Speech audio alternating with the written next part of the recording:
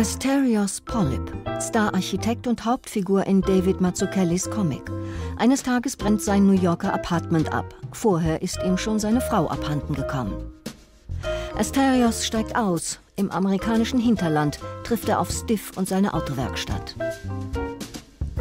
In einer Mischung aus Hoch- und Popkultur lotet Mazzucchelli alle Möglichkeiten des Comics aus.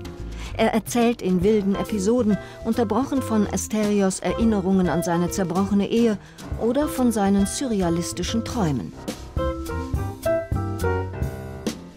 Die Handlung erinnert nicht von ungefähr an Romane von Paul Auster.